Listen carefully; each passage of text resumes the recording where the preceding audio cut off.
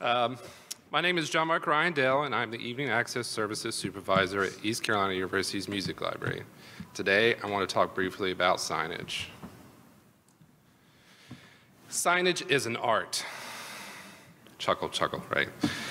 I'm not saying these signs are bad or unnecessary, but I question, are these signs useful to the individuals walking into the library? Our challenge was to evaluate our signage to determine if it was actually useful to our patrons. Our signage was too numerous, often aggressive in its messaging, and outdated. We needed to ask ourselves, do we see what our patrons see? First, we wanted to address some problems that plague most libraries. Since the visual landscape of a smaller library can become oversaturated very easily, in our space, we had too many signs. Having outdated or aggressive signage needed to go. And lastly, we wanted to use resources available to us in-house because the idea was to soothe, not bruise, our budget. So, we began by looking through best practices for signage as well as consulting best practices within UX design. UX stands for user experience and involves understanding what our users need. We also needed to figure out what tools we had available for creating signage, as well as ensuring changes we made were cost effective.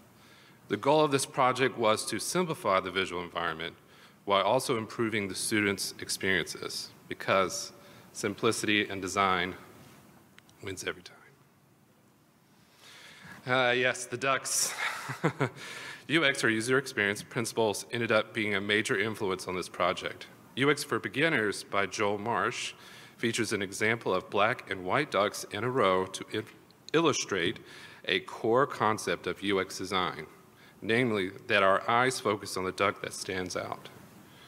The image inspired us to maximize the sign's potential and visibility by minimizing the surroundings around it. Here is a common sight at most libraries, range markers with black writing on white background. With music classification being M, ML, and MT, it can be difficult to know where a section begins or ends. By flipping the color scheme, the contrast on the range marker is easier to read and the signage itself becomes easier to see.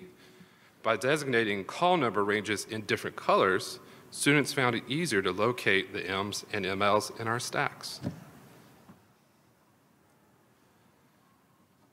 Observe the hanging signs. Multiple signs describe an area. Music stacks start here, and then music stacks right next to it. Why? White with light gray background is hard to see in this type of lighting. Also notice the range markers, the endless white dots going down the aisle. Here you can see we removed the signs. We applied music stacks lettering to an existing structure the most prominent bookcase in the library. The black lettering is easier to see against the gray. It was also printed on vinyl, a resource available to us at our main library. As mentioned before, we utilize color, contrasting colors for our range markers, so it is now more obvious to notice where a section begins. My favorite. We've all seen this type of signage. It's aggressive, it also looks cheaply made, and visually bland. yeah.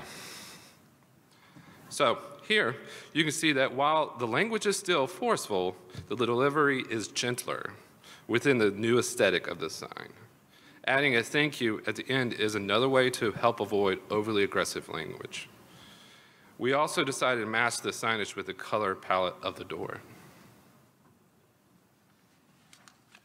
Lastly, we invested in digital signage digital picture frame with images and videos displaying as a slideshow. Patrons are more likely to notice information on these screens than paper signage.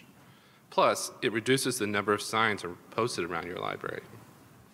This was an investment, since we're talking about effective cost solutions for us, but these frames can cost 80 to $150. The results have been fantastic for us. So, our results. By revamping our signage, we saw immediate results. We noticed our space improved by simplifying and reducing the visual noise. We observed changes in students' behavior and how they interacted with the library space. And lastly, we could see our students were more confident in finding materials.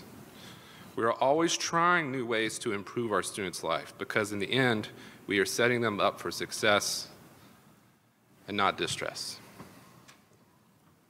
So here's a, a, great couple examples of books that uh, I would highly recommend if you have a picture, if you want to take a shot. Um, I can also send them to you via email. Um, yeah. Thank you so much.